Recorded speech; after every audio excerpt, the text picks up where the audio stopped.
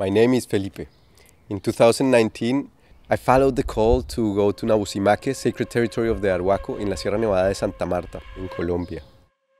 I was following a call that brought me to Luis Fernando, my brother and his family, who wanted to send a message from Mother Nature.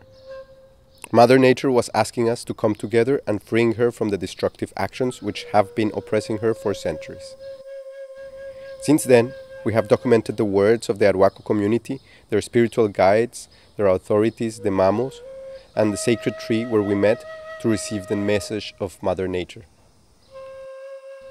This year we built a sacred house of governance in the Muisca territory, where the indigenous authorities advise on how to keep gardening the balance of life, to keep the territories thriving.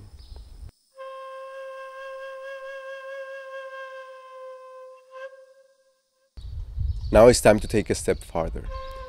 It is time to free 400 hectares of sacred land in indigenous territory in Colombia.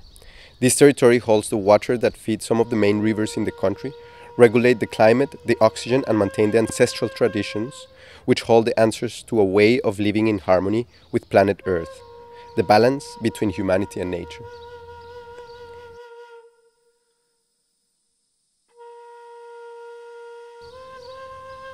It is key that these territories be given back to the care of indigenous communities. Otherwise, they will be continue to be used for exploitative global interests that have devastating planetarian consequences. This is for us a moment to get together across the planet to recognize that there are no borders and the planet should not be owned by anyone but taken care by all of us in an opportunity to collaborate and be part of this global cause. Your help is crucial for this to happen.